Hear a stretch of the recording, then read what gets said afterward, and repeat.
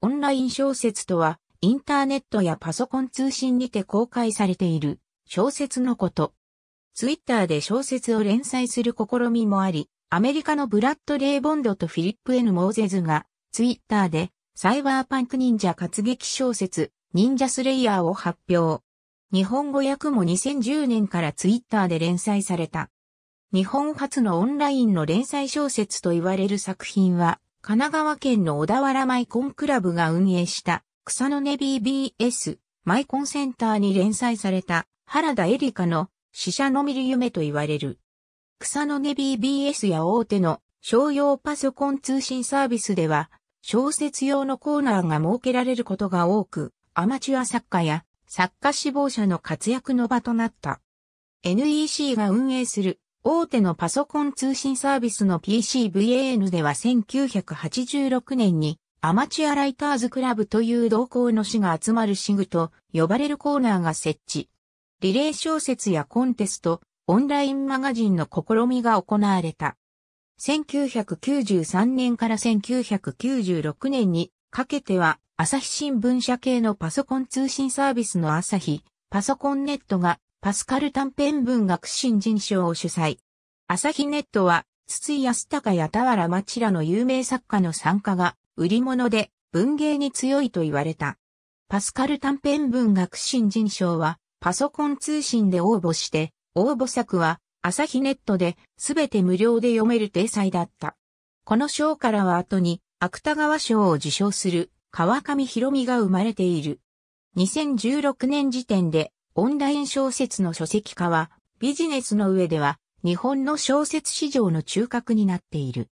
2016年時点では小説家になろうの読者は10代から70代と幅広く20代が最も多いものの30代以上のボリュームも厚く従来のライトノベルの読者よりも年齢層が高い。自分のサイトで小説を連載するプロ作家もおり、純文学作家の大成巨人は長編小説、深淵を連載し、後に書籍化された。ファンタジー作家の両道子は、神話的な作品、夢見る、水の王国をウェブ上に発表し、インタラクティブな形で読者と共に作品を作ろうとした。しかし読者は、このような試みに慣れていなかったため、反応が少なくうまくいかなかったという。小説家になろう、いい、エブリスタなどの小説プラットフォームが登場して、急成長した。これらに投稿された人気作の書籍化が2010年以降目立つようになり、アルファポリスや角川などの出版社が参入。縮小する日本の出版市場の中で唯一の成長分野となり、書店での棚の占有面積を増やしている。サブカルチャージャーナリストの飯田和文の取材では、ツタヤ系列の書店では、ウェブ小説の書籍化は、文芸の売り上げの半分を占めている。従来のライトノベル同様、イラストを表紙にした作品が多く、テレビアニメ化、アニメ映画化、ドラマ化された作品もある。飯田和文は、ウェブ小説プラットフォームのムーブメントと、又吉直樹の火花のヒットは、表裏一体であり、出版社にもはや新人を発掘、育成する能力、体力がなく、紙の小説雑誌の影響力が低下していることが背景にあると指摘している。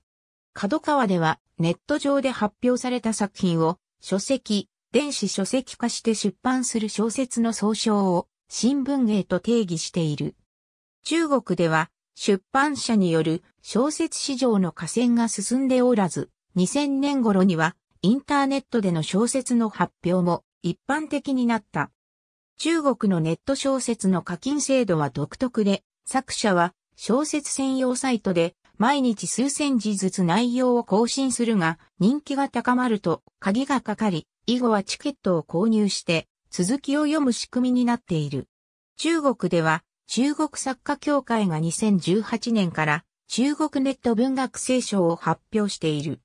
中国ネット文学聖書2020によると、中国の2020年のネット文学ユーザー数は4億6700万人、累計作品数は約2800万点だった。また中国インターネット情報センターの統計では、2020年12月現在の中国内のネット小説の読者は4億6千万人とされ、新型コロナウイルスの流行により外出を控えてネット小説を読む人が増えたことも要因となり、2年前と比べて約2800万人増えたとしている。